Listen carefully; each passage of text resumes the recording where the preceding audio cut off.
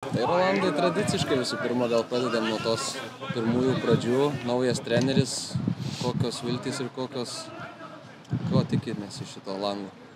Tai tikimės tik vieno. Iš šitų dviejų rungtynių norėtume paimti maksimumą. Iš kiekvienų rungtynių po tris taškus, nes reikia labai pergalių. Normalu, pergalių. Su naujoju treneriu gal teko kalbėti, ko jis tikisi iš paties, ko tikisi iš komandos, kokio žaidimo norėtų. Taip, turėjom pokalbį su treneriu. Jis tikisi, kad visi žaidėjai yra pasiruošę. Ir kaip ir minėjau, visas rungtynės turime laimėti, parodyti save iš geriausios pusės. Kokį įspūdį palieka kaip žmogus, pats vėl turbūt skambino, bendravo telefonu, kiek, kiek jam rūpėjo, sakykime, ir jūsų situacija, kiek ir futbolo situacija. Taip, kalbėjom su treneriu jau gan jau seniau, jis skambino ir teravosi, kaip mes jaučiamės, kada mums rungtynės. Asmeniškai klausė, kada aš pats žaisiu rungtynės, norėjo atvykti rūpjūčio mėnesį.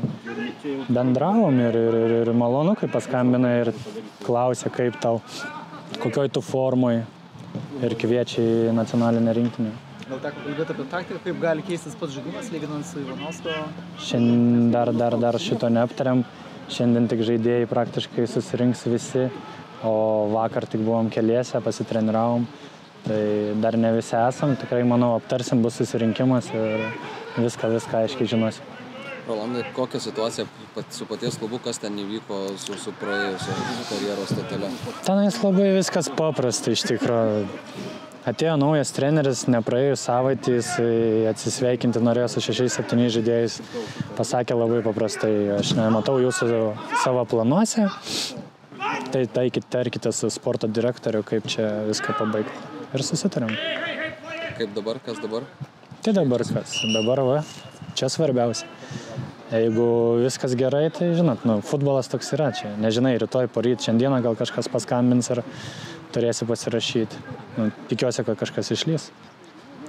Ruanda, kaip žinia, vyksta kaktomuša čia Lietuvoje tarp politikų ir futbolo federacijos. Nežinau, ar tenka su rinktinėje kalbėti apie tai, ar visiškai na, nesikoncentruoti. Asmeniškai aš pats tai iš vis televizoriaus realiai nežiūriu, žinių nežiūriu, aš tai nelabai, ne mano, ne mano, kaip sakoma, tema, aš tai nieko nežinau, kas su, su žaidėjais susirenkam, tai bendraujam mes apie futbolą, apie gyvenimą, o ne apie politikas.